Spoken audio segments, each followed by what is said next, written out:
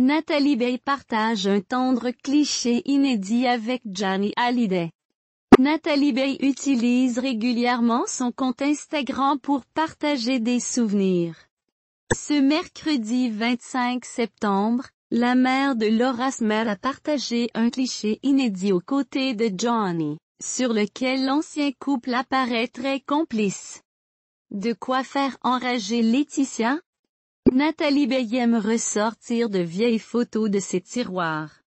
Après avoir retrouvé des images de Laura Smell enfant, l'actrice de 71 ans a mis la main sur un cliché inédit d'elle et de Johnny. Un souvenir heureux qu'elle a souhaité partager avec ses fans sur Instagram. Sur la photo en question, Nathalie Baye Johnny dans ses bras et esquisse une grimace, tandis que ce dernier lui dépose un tendre baiser sur la joue. En légende, elle se remémore avec joie le temps où elle partageait sa vie avec l'idole des jeunes quand on faisait les pitres. Écrit-elle, nostalgique. Une photo rare et amusante, qui a aussitôt séduit les fans de l'actrice. Quelle belle photo, vous essiez tellement bien tous les deux, des photos très sympas que Laura aura le plaisir de regarder et de montrer à ses enfants ou encore merci pour le partage de cette drôle de photo. Vous faisiez un beau couple, peut-on lire parmi les commentaires? Pour rappel, Nathalie Baye fait la rencontre de Johnny Hallyday en 1982, sur le plateau d'une émission de télévision. L'année suivante, le couple donne naissance à une petite fille, Laura. Le couple se sépare finalement en 1986. Biographie Nathalie Baye est née le 6 juillet 1948 à Meneville dans l'Eure. Fille d'un couple d'artistes peintres, elle grandit dans le quartier de Montparnasse à Paris. Petite fille, la dyslexie ne lui facilite pas l'école. À 14 ans, elle part à Monaco pour suivre les cours de danse de Marika Bezobrazova et poursuit sa scolarité par correspondance. Après trois années monégasques, elle s'envole pour New York afin de se perfectionner dans une école renommée et parallèlement trouve une famille au père. À son retour, elle poursuit la danse et s'inscrit au cours Simon. Le déclic se produit alors et la jeune fille décide de devenir comédienne. Elle intègre le Conservatoire d'art dramatique de Paris d'où elle sort diplômée en 1972. Remarquée dès sa sortie du conservatoire, la jeune débutante apparaît dans deux films en 1972 Brève rencontre à Paris et Faustine et Le Bel Été. Elle enchaîne les seconds rôles durant cette décennie. La gueule ouverte de Maurice Piala, La gifle de Claude Pinoteau, Mado de Claude Sautet. Le réalisateur François Truffaut la découvre et la fait tourner dans trois films.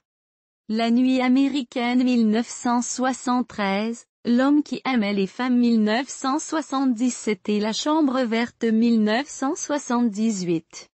En 1981, c'est Jean-Luc Godard qui la révèle au grand public et lui permet de décrocher le César de la meilleure actrice dans un second rôle pour Sauve qui peut la vie.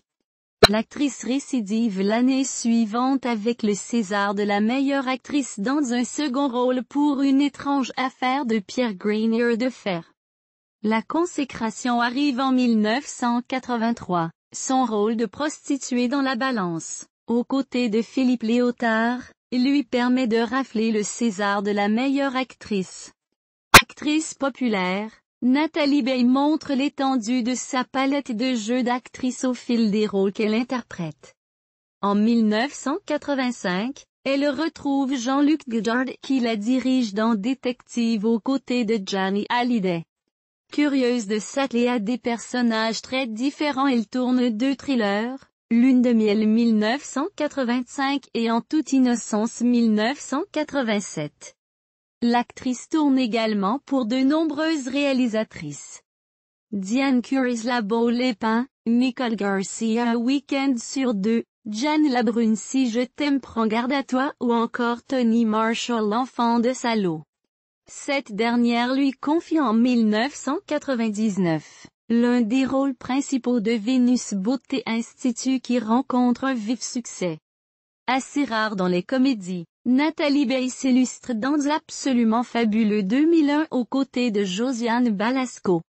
Prolifique, l'actrice ne cesse d'allonger sa filmographie. En 2002, elle rejoint le casting d'une production hollywoodienne, Arrête-moi si tu peux de Steven Spielberg. Elle multiplie ensuite les collaborations prestigieuses. Claude Chabrol La Fleur du Mal, Noémie Lvovsky Les Sentiments, Claude Berry Le Reste, l'autre part en 2006, elle reçoit le quatrième César de sa carrière, celui de meilleure actrice pour le petit lieutenant de Xavier Beauvois. Elle retrouve Josiane Balasco pour Client en 2008. Nathalie Bay suscite également l'intérêt de la jeune génération de réalisateurs comme Jacques Fieschi La Californie, Frédéric Soch chez HH, Hitler à Hollywood ou encore Xavier Dolan Laurence Anyway. En 2016, elle retrouve Xavier Dolan pour Juste la fin du monde qui lui vaut une nomination au César de la meilleure actrice dans un second rôle. En 2017, elle est à l'affiche de films. Les gardiennes de Xavier Beauvois, et Alibi.com de Philippe Lachaud. Côté vie privée, Nathalie Bay a été la compagne de Philippe Léotard, rencontré sur le tournage de Faustine et le bel été en 1972. Mais après dix ans de vie commune le couple se sépare. L'actrice rencontre ensuite Johnny Hallyday en 1982.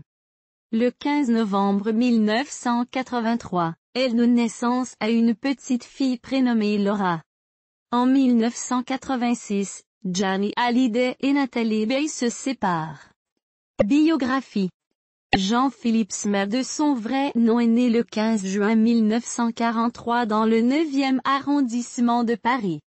Fils unique de Léon Smert et d'Huguette Claire, il est très jeune lorsque ses parents se séparent. Sa mère, mannequin cabine, le confie alors à sa tante paternelle qui l'élève avec ses deux filles, Desta et Menant. Son enfance est marquée par de nombreux voyages à travers l'Europe avec ses cousines, danseuses, qui se produisent en spectacle.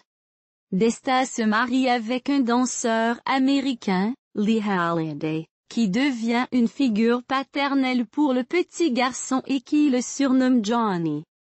Rattrapé par la fibre. De retour à Paris, l'adolescent trouve sa voix à 14 ans lorsqu'il découvre un nouveau courant musical incarné par Elvis Presley.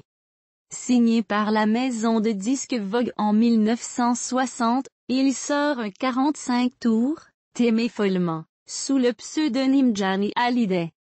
Il ne tarde pas à déclencher l'hystérie lors de ses performances sur scène qui sont sa marque de fabrique.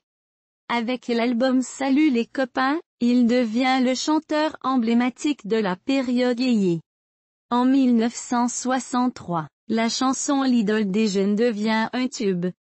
Puis il met sa carrière entre parenthèses pour effectuer son service militaire en Allemagne.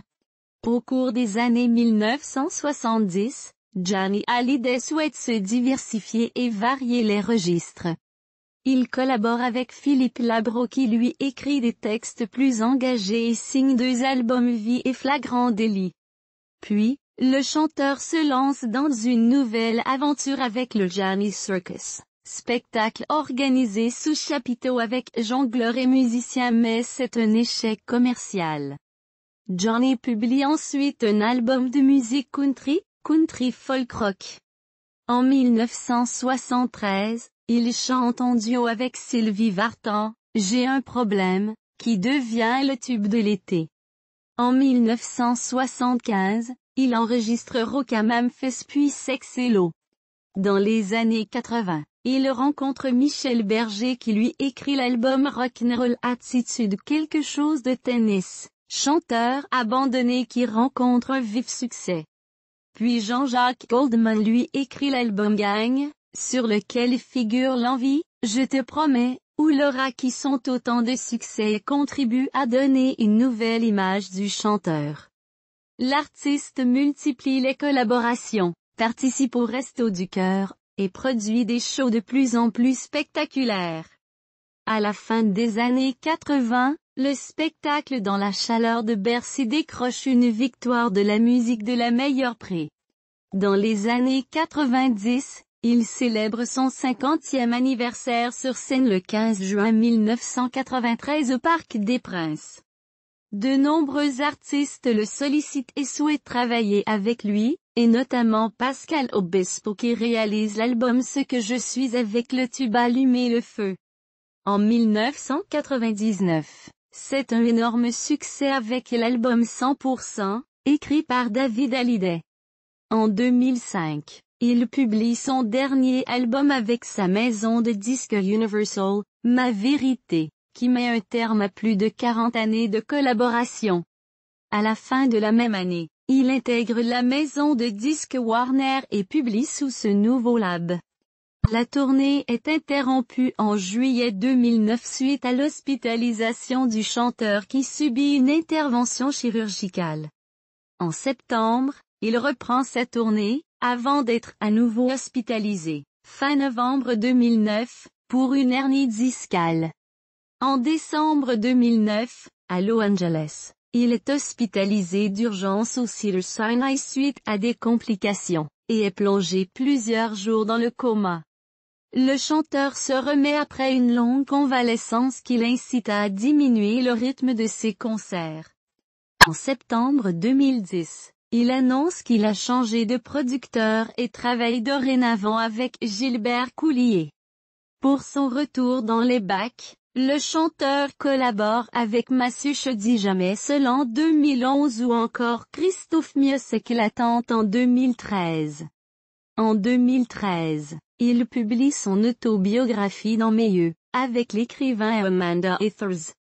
En 2014, il scelle ses retrouvailles avec Eddie Mitchell et Jacques Dutronc pour le spectacle intitulé Les vieilles canailles. Il poursuit ses tournées et sort plusieurs albums, Restez vivant 2014 et De l'amour 2015 notamment réalisé par Yodelis. En janvier. Parallèlement, Johnny Hallyday a fait de nombreuses incursions au cinéma. L'aventure c'est l'aventure 1972, Détective 1985, L'homme du train 2003, Vengeance 2009, Salaud, on thème 2014, ou encore Chacun sa vie 2017. En 2011, il joue pour la première fois au théâtre, dans une pièce de Tennessee Williams, Le paradis sur terre, aux côtés d'Audrey Dana. En mars 2017, le chanteur annonce sur les réseaux sociaux qu'il souffre d'un cancer.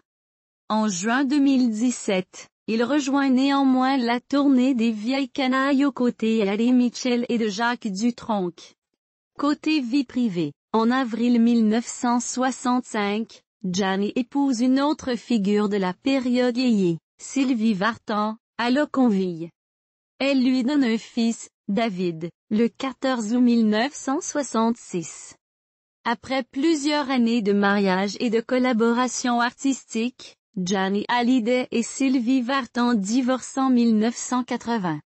Le chanteur rencontre ensuite l'actrice Nathalie Bay, avec qui il a une fille, Laura, née en novembre 1983. Mais le couple se sépare en 1986. Johnny Hallyday s'unit à deux reprises à l'actrice Adeline Blondio 1990 et 1994, avant de retrouver l'amour au bras de Laetitia Boudou, de 30 ans sa cadette. Il se meurt. Le 5 décembre 2017, Johnny Hallyday décède à l'âge de 74 ans à son domicile de Marne-la-Coquette. Le 9 décembre 2017, une cérémonie religieuse est organisée à la Madeleine à Paris.